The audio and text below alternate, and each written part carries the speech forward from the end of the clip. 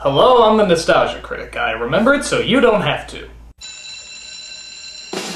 When you're a kid, all you can think about is being in high school. When you're in high school, all you can think about is being in college. When you're in college, all you can think about is being an adult. And when you're an adult, all you can think about is being a kid again. Life fucking sucks. But for those few years of misled optimism, we have the Saturday morning hit Saved by the Bell.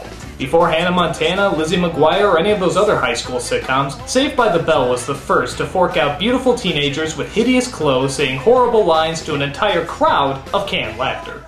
This is one of those shows that captured the essence of the 80s so well that sometimes seem like we've traveled back in time to that cherished decade to relive the fun and wonder that the 1980s had to give us. The only problem? It was made in the 90s! I mean, look at this. It's like a decade behind. Were they just stuck in a time warp or something? But oh well, this is what we thought high school was gonna be like when we were younger, before our dreams were shattered like Elizabeth Berkley's career. What many of you may not know is that Saved by the Bell was not always called Saved by the Bell. It was originally called Good Morning Miss Bliss, and the focus was not on the students as much as their teacher, Miss Bliss, played by Hayley Mills. It ran for about a year on the Disney Channel and had some of the same cast as the original show, but it never caught on, and it was taken off the air after only one season. After that, NBC picked up the show and changed the title to Saved by the Bell, and thus we were given the high school character stereotypes that only unimaginative writing could bring us. For example, you got Zach. You know, the kid always getting into trouble with his harebrained schemes, but always manages to get out of trouble with his irresistible smile. That and a bucket load of hair gel. Seriously, that thing looks alive. Next, you got Slater, the good looking jock, who's very similar to Zach in almost every way, except for, um, their names. After that, you got Kelly, the good looking cheerleader who has those insufferable on again, off again relationships with the main character. I know this is high school, but how many times can you break up with a person before they turn into a psycho and start stalking you? Next, you got Screech, the nerdy little geeka doofus dork who, judging by his voice, holds the record for the longest time anyone has ever gone through puberty. Well, I thought I was. Do you think he was kidnapped by space creatures? Kelly, uh, hi. Oh, for God's sakes, will your testicles just drop already? After that, you got Lisa, the fashionable, self-centered mall brat who is the object of Screech's affection. You were great in the 100 yard dash. Oh, thanks, but I owe my victory to Screech. You do? Oh, yeah, I pretended you were chasing me. Ouch. Finally, you got Jessie, the self-righteous, vegetarian, politically correct, environmental, animal rights feminist in the group. She was the most unpopular character in the show. I can't believe my own boyfriend doesn't even support me. Why do we need more oil? I mean, auctioning off dates is just a glorified meat market. That's wrong. That's immoral. That's dishonest. Well, excuse me for living! Now you might be asking yourself, haven't I seen her before, except in something more degrading and publicly humiliating? Yep, this is the exact same woman who starred in Showgirls, one of the biggest cult films to ever horrify audiences. Auctioning off dates is sexist flesh peddling and should be strictly forbidden. They go to a school principaled by balding educational pushover Mr. Belding. What is going on here? that's a good one. Oh, gee, Miss Wentworth, that's not fair. Oh, good news, Mr. Belding! Good news! Your balls arrived! Is that true? So what can you say about the show as a whole? Well, it's hard to sum up the entire thing in general, so let's take a look at some individual episodes. Like how about the episode with the fake IDs? This episode starts off at the kid's favorite hotspot, the Max. Look at this place. It's like the 80s interpretation of the 50s. Zach helps out a girl with her flat tire, but it turns out she's over 18 and wants to meet him at a club. So Screech comes up with some fake IDs to get everybody in. Can somebody tell me what's the point of making a fake ID to show that you're 18 when you're so obviously 24? You know, we never did discuss your fee. Well, I really don't know. Oh, yes, I forgot to mention. This show has the most obnoxious audience in the entire world. I mean, they go nuts about everything.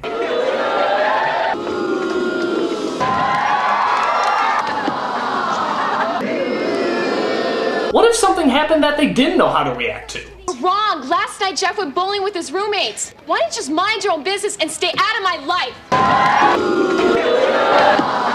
Or how about the episode where Zach has to find his family roots? It turns out Zach finishes a track meeting, having not worked up anything close to a sweat, but forgot he has to research his family tree for a school project. All he can find, though, is a picture of a Native American chief. So, like any high schooler, he bullshits his way through the report. Zach Morris, let's hear from you next. All right, Screech is going to assist me. Ready, Screech? Ready, Kimosabi. Oh god. After digging through old family papers and pictures, I learned that I'm part American Indian. I come from a long line of fierce warriors and great hunters. Me, me.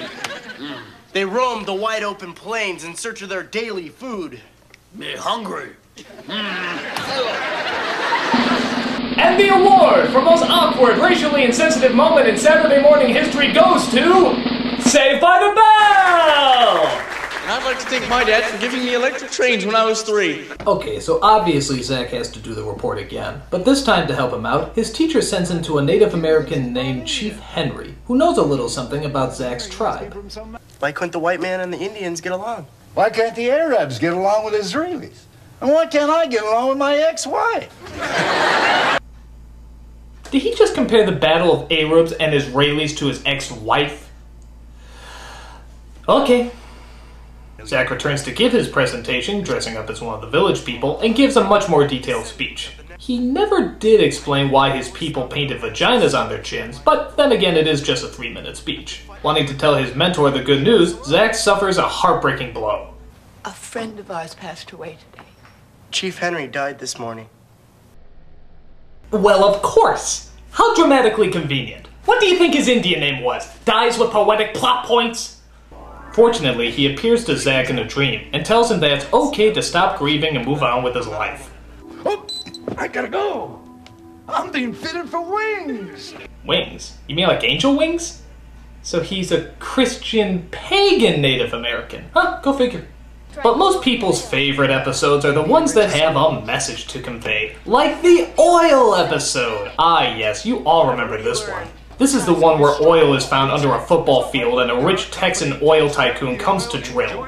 The kids all somehow dream up the exact same fantasy and imagine what it would be like to be the richest school in the county. Come, my darling. Let's all go to the beach. The camels are ready. Meanwhile, Zack comes across a duck named Becky and forms a powerful friendship with the innocent creature. I wish I didn't have to take you to the pond tomorrow. I'll come visit you all the time. When did this turn into an E.B. White's kids book? So let me be sure I got this straight. One story involves Texas tycoons drilling for oil, and another story involves a cute little ducky who lives in the school pond. Oil plus ducky equals. I mean, what could possibly go wrong? After all, we all know that oil is the safest and most non hazardous of all of God's natural. Oh my god, Becky! Becky, no! She's not moving, Zach. I know she's probably in shock. Just please help us, sir. Yes, yes, Becky must be in shock. Surely she'll pull through, right? Right? Zach, Becky's dead. No. No. No. No.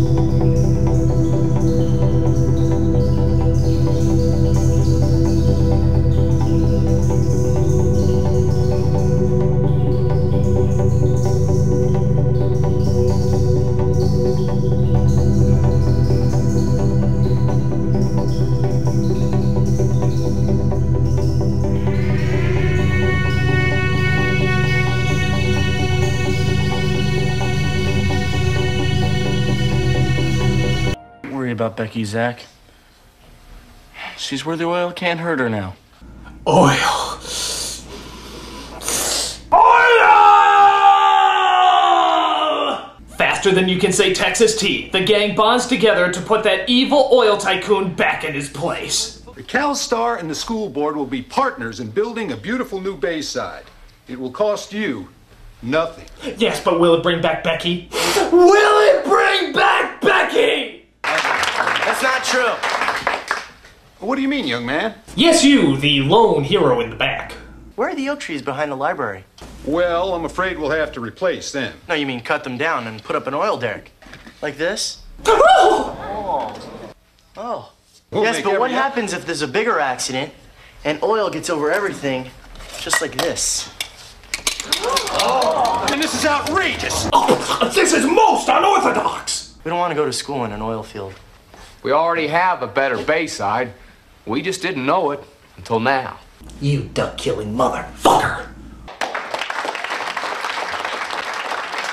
That's right, kids. Just remember oil is evil. I mean, what the hell do we need oil for anyway? Oh, yeah, to run our cars. But there's tons of other natural energy resources to run our cars, like solar, which is practically non existent. So there's hybrid, which is far too expensive for anyone to afford. But there's electric, which is still in the developing stages. So for the time being, I guess we're stuck with oil. Evil, nasty oil! It kills ducks. Another episode I'm sure you all remember is the drug episode, where Jessie gets addicted to caffeine pills because she wants to pass geometry and do well in her new girl rock group. Wait, wait, wait, wait, wait, wait, wait. A girl rock group? How the hell did that come along? Well, it turns out Zach really thought the three girls had potential, so Screech dresses up as a female Irish janitor and records them singing in the girls' locker room. Finally, something realistic. I remember when I dressed up like a female Irish janitor and recorded things in the girls' locker room. Why don't you just forget I said that? Next time, bring me. So the recording is given to a record producer, who of course loves it, and the three girls decide to put together a music video for them. Oh god, help me. This is back when music videos didn't know they were insulting our intelligence, and also when they were, you know, popular. Say what you will about this song, but these special effects are just incredible. Like, watch this unbelievable stunt. Oh my god, how did they do that? There was one person there, and then suddenly there's another! Is this that mystical voodoo they talk about called a jump cut? Also, get a load of this. Their faces are dissolving over the picture! Witchcraft! Feeling the pressure, Jessie continues to take her caffeine pills and becomes mildly annoying. We'll be great, we'll be awesome, we'll knock him dead, right? Right? Yeah! Oh yes, I forgot to mention the popular music sting, which is played just before every commercial break. The weird thing is that the music is so bland that you never know if it's positive or negative until you hear the subject matter. Guys, we struck oil. There's oil everywhere. This music's so vague you can put it to anything. Hey everybody, Kelly's top just fell off! Oh no, Lisa is pregnant with Screech's baby! Wow, Zach just saved a puppy right after his mother died! You see? The big scene everyone remembers is near the end when she has her giant breakdown in front of Zach. I just need one of these. Pills? You mean you really are taking drugs? I need them. Jessie, give me those. I need them, Zach! I have to sing! Jessie! I'm so excited! I'm so excited! I'm so scared! Wow. I, I mean, wow. I had no idea that caffeine pills could turn you into such a horrible actor. Well, I'm getting rid of these babies right now! It's good old fashioned mescaline for me. Oh. God, that soothes. Finally, I want to talk about one more episode. This is my personal favorite. It's called Rockumentary, and it's this strange kind of behind the music look at the kids after they make it big as a rock band. You heard right, they make it big as a rock band. Just look at some of the clothes they wear. It's like the 80s are trying to die, but someone keeps trying to resuscitate them. Just let the decade die in peace. Look at this. When the hell did anyone wear bows on their jeans? Are you a fucking birthday present? But I digress. This odd little music documentary is hosted by Casey Kasem of all people, as he apparently has mastered the power of time travel to show you how their story began. Apparently, the group practiced in their garage playing their instruments and lip syncing rather horribly. Just look at Slater's drum work. He plays so well that the beats come out before he even taps them. Little did they know that fate was running by their door. Yeah, was there a record producer named Brian Fate who happened to be jogging past their garage? Hello, I'm Brian Fate. Alright, it's a little funny. He, of course, turns them into rock legends as they do concerts, sign autographs, get awards from bad impersonators. It's a dream come true. Now, one thing you might be asking yourself is where's Jessie in all of this? Well, they saw how she did with the last rock group she signed up with, and, um. Yeah, they're not doing that again. So, of course, as their popularity builds, a seductive PR woman steps in and seduces Zack to leave the group and go solo. Letting the fame go to his head, Zack agrees with Yoko Ono and leaves the group to go do his own thing, as she controls everything about him, even the way he looks. Alright, now, I have to warn you.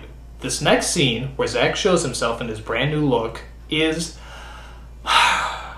is one of the funniest things ever put on television. It will cause laughter beyond your control. Just remember to breathe, inhale, and exhale.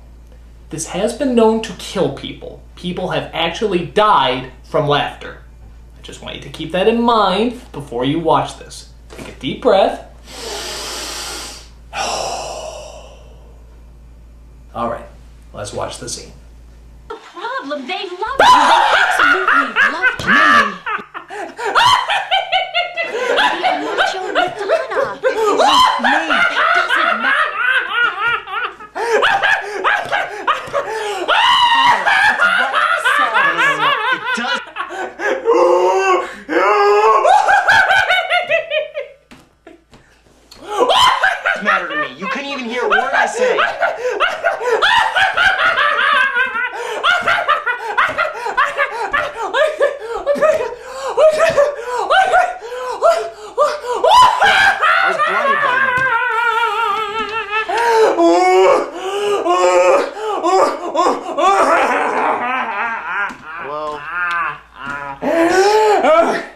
Ah!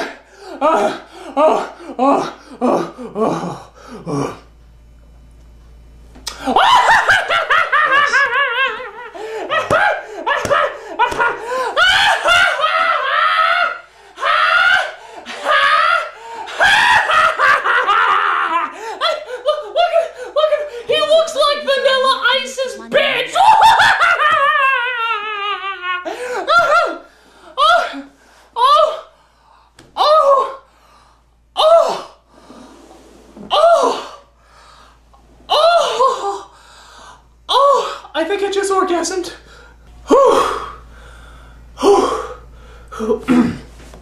So, um, if you survive that, Zack eventually gets back together with his group and goes on to make music history.